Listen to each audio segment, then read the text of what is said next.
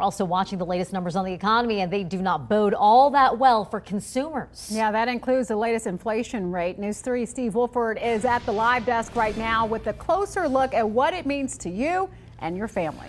Well, uh, two key numbers jump out tonight from the Bureau of Labor Statistics that have a direct impact on your family consumer prices and wages. Consumer prices rose 3.5% compared to March of last year, but your wages aren't keeping pace, only up by 1.1% through the first three months of this year. Higher inflation means you're paying more for food, gas, and utilities. Don't have to tell you that.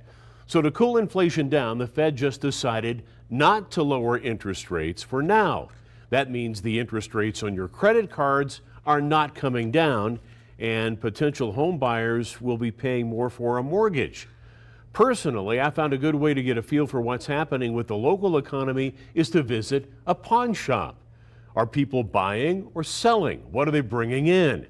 So I stopped in to see my friends at uh, Gold and Silver Pawn, home of the world famous Pawn Stars, to get a non scientific take on what's happening. Two trends more people are selling stuff outright and not taking loans, and more people are buying gold and silver. So, what does that tell us? So what that's what that's telling me are people are starting to get uncomfortable with the environment out there.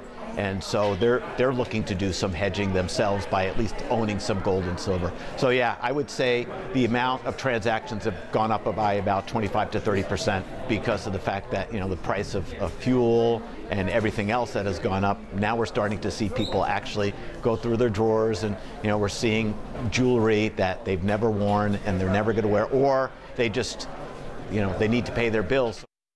And if you're pessimistic about the direction of the economy right now, you're not alone.